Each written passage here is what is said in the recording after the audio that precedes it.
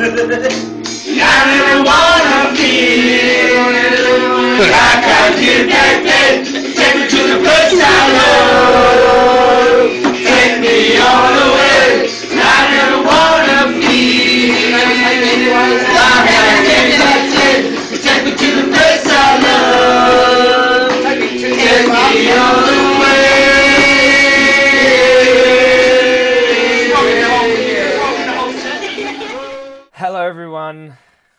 welcome to another video. This video feels really surreal. I've got an announcement to make to everyone, something that I'm really proud to say, and this is going to 100% be an emotional video for me and anyone out there that can uh, empathize with a hard journey like staying sober. I've been sober now for six years. What an achievement for me. I mean, if you saw me before, you wouldn't have recognized me. Honestly, I was constantly drinking alcohol.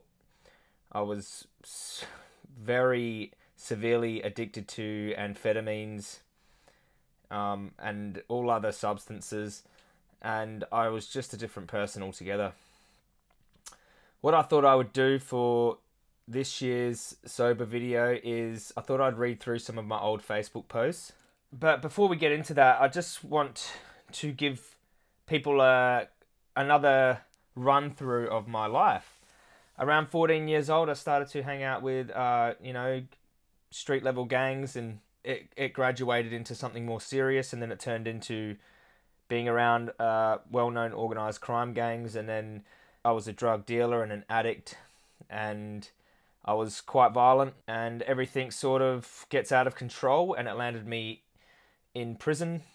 Uh, I was first uh, thrown into solitary confinement under suicide watch, spent uh, five days in there, released on house arrest, awaiting a sentencing for the firearm I was carrying. In that world, obviously, you need to defend yourself if you get in some danger, and the way I did that was, you know, I'd carry weapons, uh, sometimes a hammer, a knife, or a firearm. The the environment begins to shape you. And that's the thing, like you can be doing things out of character for you, but the environment starts to mold you into the individual that you become. And you know, at times I became a monster. I became a monster. I scared my family. I've, you know, been not the best friend.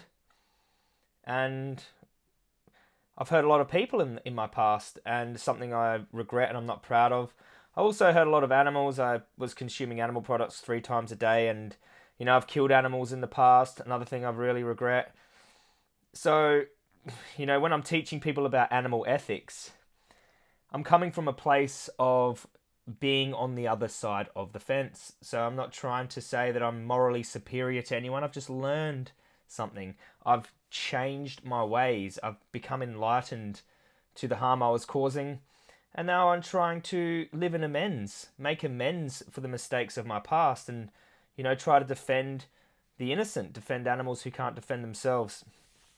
So addiction's really serious, and look, it can stem from childhood things, it can stem from families, you know, being split apart and alcoholism in the family and not being raised in the right environment, not trying to blame anyone for the reason I become an addict, um, the reason I become a violent gang member, not trying to I made my own decisions.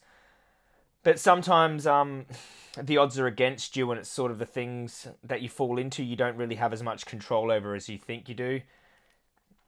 I'm a very lucky person. I'm very lucky and I'm very grateful because some of my friends aren't so lucky. Some of my friends are doing, you know, life in prison or they're they're still addicted to drugs and you know I, I feel very grateful for having this second chance and not wasting it. Not wasting this opportunity that I have to influence people in the world, to help animals and to dedicate my life to a purpose and that's one of the things that will keep you sober is having a purpose every single day.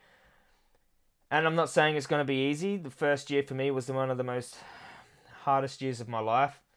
I was riddled with anxiety and regret and shame and I didn't have an alcohol or drugs to use as a crutch. I didn't have my friends to back me up. I didn't have a gun to help me with my paranoia and insecurity. Um, I was on my own. Staying sober, though, through that rocky part of my life was the best decision I ever made. Not to say that I'm completely free from all of the things that I've done in my past and all of the psychological damage that was done from being in such a crazy, um, deceptive, violent world for so long. But it's a constant journey to getting myself better. Recently, for the last, I'd say, eight months, I've been doing therapy for PTSD and some other, you know, just things that I thought I could work through myself. But I've had, um, I've had help from a therapist, and there's no shame in getting help for if you've been in such a very, such a hectic environment for many years. There's no shame in trying to work through some of those deep traumas that have been covered up. What I want to do is go through some of my Facebook posts. You know, obviously, like my Facebook posts began to change. When I first got on house arrest, there was like I was drinking. I was still like an aggressive, you know, can, you know, violent person and drinking alcohol, and I was saying ridiculous things on my platform. Um, luckily, I didn't have that bigger platform, but it was just an outlet that I was using. Um, here's one I want to point out here 16th of October 2012. If you want something you've never had, you got to do something you've never done.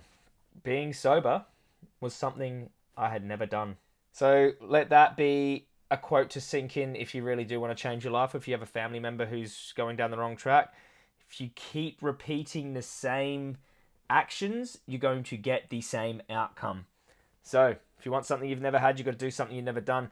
I was an awakened individual in many respects. I was just, you know, I was trying to be more conscious, but I was clouded by drugs and alcohol in gangs, ruled by my ego, and, you know, the odds were against me.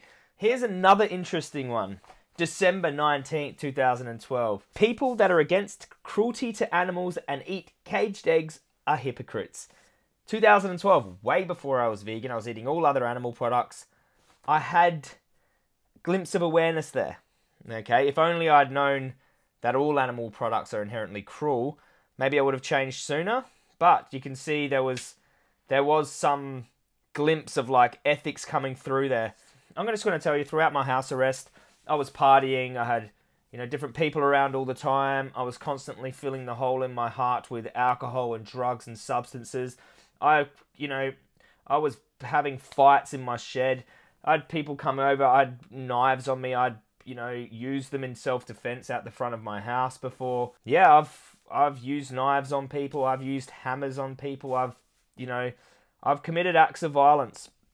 Um, have I committed an act of violence for the last six years? No, I haven't. Um, no, I haven't, and I, I plan on keeping it that way.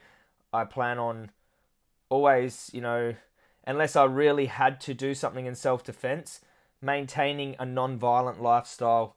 Um, I really think that that's important to, you know, it's important to be consistent if you want to be non violent towards animals and I think you should extend that to human beings. And being a vegan has really helped me extend my compassion to human beings. That's why I think, you know, looking in, in these areas of your life where you're committing the most cruelty and violence, um, like your diet, really helps you become awakened to some of the ways that you're treating other humans that might not be um, that might not be acceptable. So let's just go. I want to show you this one here.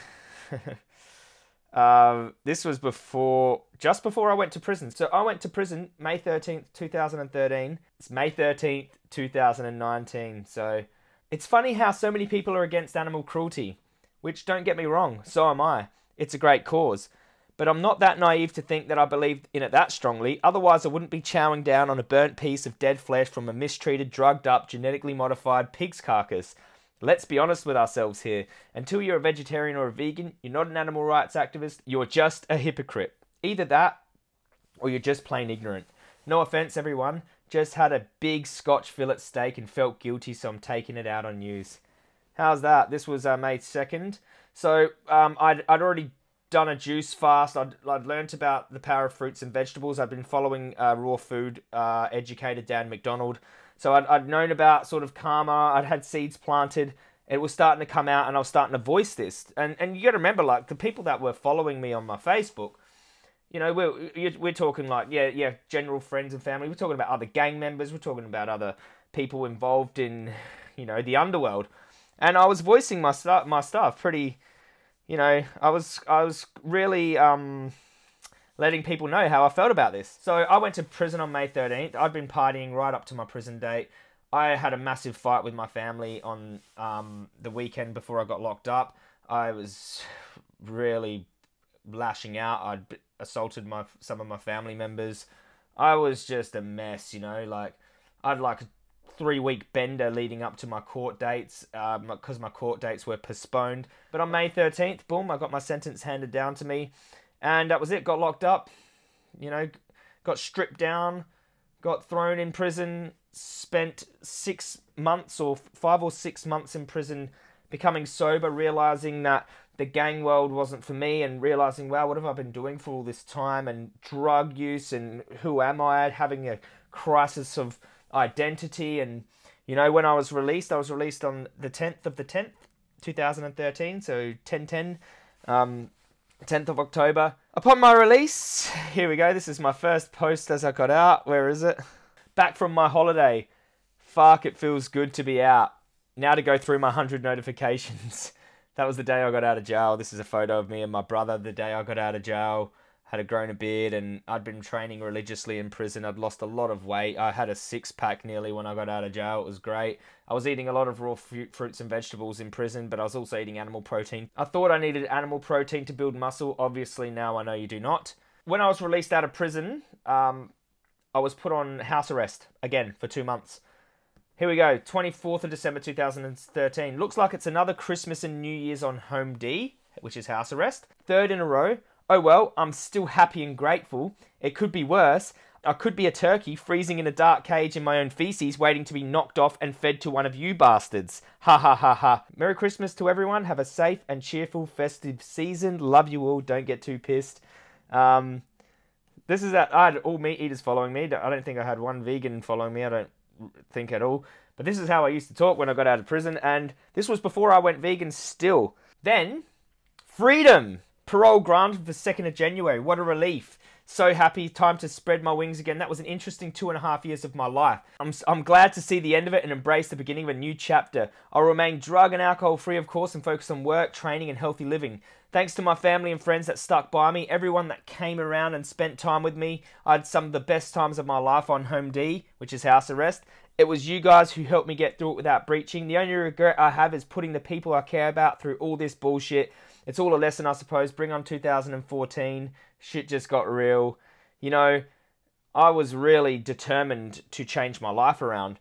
But, you know, all, while all this was happening, um, I had friends who were like in the hospital that, that had been getting shot. I had my uh, friends who who had the, been you know seriously injured in gang fights. There was a lot of wars going on, and there was victims on both sides of these fights, and it was really crazy, scary time. And you know, there was really serious things going on in prison, and it's just a, you know, it's just a big wake up call for everyone. And it's like, you know, what do you do? Do you do you do you continue going down this track, um, end up in prison or seriously injured in hospital with a, or with a serious addiction like I had, um, or do you turn it all around? And these are things that I could only anal- analyze with a sober mind, and this is why sobriety is so important to me. And it's like it's the crux of maintaining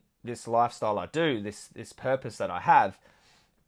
I've got awareness now. I can see things clearer. November the 1st, 2013, became a fruitarian, a raw vegan. When I first went vegan, I went raw vegan because I was, you know, educated by raw food uh, guy. And that was the day I became a vegan, basically. And then from that point onwards, I educated myself on veganism. I found Gary Yourofsky and animal rights, and you know, I was following Freelee and Durian Rider, and going, you know, which was, you know, all of the finding different communities online really helped me stay sober. Um, here, here's one. Wow, the cops just love rocking up for a raid, six men strong with bulletproof vests on.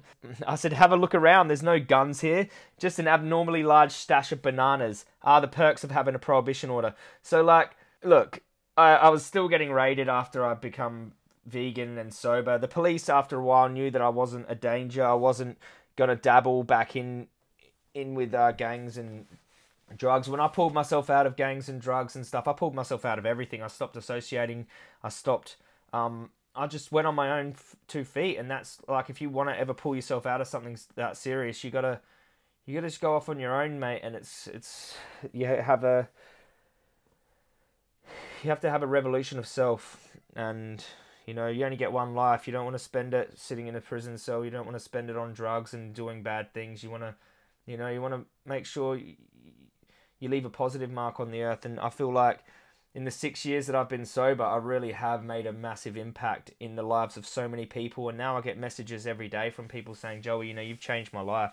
You know, you you don't understand. You've changed the whole course of my life. Like uh, you've given me purpose. You've woken me up. You've you've helped my family. You've you know you've inspired me to be an activist. You've inspired me to help create change on earth. And it means so much to me knowing that I come from the gutter. I come from, you know, addiction and violence and gangs to now be inspiring people to make compassionate choices and changing their life around too. And, you know, uh, I, I want to continue to do that. I want to continue to help people. And here's here's a post from me when I, I first left, left gangs. And I hope no one is dirty or upset with me. It's a very difficult decision, and I hope you'll understand. And someone left this comment, Joey. No idea. I've no idea what's going on. As I've always told you, you can't please everyone. You just got to make the best decision for yourself. Because after all, you're the one who has to live with it, and that's so true. You got to sometimes make decisions for yourself and and commit to those decisions and never look back. You know, never look back. And here's another post I made. I'd rather walk alone than with a crowd going the wrong direction, and that's a really powerful post. Here's another post. Um, Let's be honest with ourselves here. You're not really an animal lover if you have a piece of a dead cow's ass cheek next to your mashed potatoes on your dinner plate. Stop kidding yourself. Haha, wow. So I was very open about that. Here we go. Documented 20th of October. It's been nearly six months without getting drunk. That's a new personal best. I'm going to try for one year sober just for something different. On the path to health. Then um, here's my my my one year sober. Today I'm 12 months sober, six months be- vegan. Been abusing drugs and alcohol for over 10 years, so this is a big deal for me. And as you know, I was probably the loosest party animal out of anyone. It feels good to be out of that place now. I'm focused on healthy lifestyle and training. So anyone out there who wants to get clean and thinks they can't do it, well, I'm living proof that anything's possible. It's just a choice in the moment. Anyway, I hope this inspires you. Joey's daily wisdom. So look, most of you know a little bit about my past and where I come from. It's been a journey. I'm not going to say staying sober for six years has been easy. There's been times where I've wanted to drink alcohol. There's been times when I've just wanted to let loose and party. But I think when you have something to wake up for every day, a purpose in your life, and you've you really got to make that decision. You really got to ask yourself: Has the actions you've been taking in your life up to this point led you to the point where you want to be at? And for me, the first 26 of years of my life was a lesson. Um, you know, it led me up to a point where I just come to a crossroads and I'd had enough. And, you know, God bless my father, my, my father who passed away, who I feel like has been with me in spirit through so much. And, you know, he lived to see me turn my life around and he would have passed away happy that I'd pulled myself out of the hole that I was in. You know, I've overcome suicide, I've overcome some real hard times, and I should have died so many times. I've had near death experiences. I've been run over and been held hostage at gunpoint, and you know, I've been in the the crossfire of some very serious, dangerous things, and um, I haven't been a perfect human being, and I haven't been a good human being for a lot of my life. But I, I can happily say now, without any shame or regrets, that I'm striving to be the best person that I can, and you know, I'm still not a perfect person, but I think we all can learn from each other and we all we've all got things about ourselves that we want to change and I just don't want all that that hardship I went through to be for nothing, you know, and I don't want my life to be for nothing. I want to leave a positive mark on earth and that's always been my motivation to start my YouTube channel and to get out there. I just wanted to to change someone's life for the better because I'd, I'd done so much bad in my past and I always talk about the fire that I have inside of my heart. If anyone else has that fire inside your heart, don't ever waste your opportunity to spread that. That's your purpose and it's calling out to you. Don't waste your life down that rabbit hole of drugs and alcohol and ego and gangs and violence. There is a better way. If I can pull myself out of the hole that I was in, anyone can. I want to say thank you to my mum and my family for sticking by me through all of that. Anyone that I've hurt in the past, you know, I'm living in amends for that. I'm sorry for anything that I've done, and every single day I strive to do better. I will be an animal defender until I die. I, I really do think this is the cause that I was put on earth to fight. Animals can't defend themselves, and they need every single one of us doing our part. I know this is probably going to be a long video. I don't care. I, I just got a lot of things I want to say. Like today feels like so surreal. Six years, you know, could have wasted my life down the bottom of that bottle and, you know, in that bag of amphetamines and I could be sitting in a cell right now just wondering what I did, wondering why I threw it all away, but I'm not. I've got this opportunity and I'm eternally grateful for that. And I will not waste it. I will capitalize on this opportunity. I'll make sure that we make some serious change on earth before I die, and I hope you all feel the same. Thank you so much to all my supporters, to all my people that to all those people that follow me, even anyone who hates my guts, you know, you don't know what someone's been through, you don't know someone's story, you don't know me, you don't know what's going through my mind, what my real intentions are. My intentions are pure, they're positive. I really do want to help, and yeah, just I'm not going to stop. I'm not going to stop.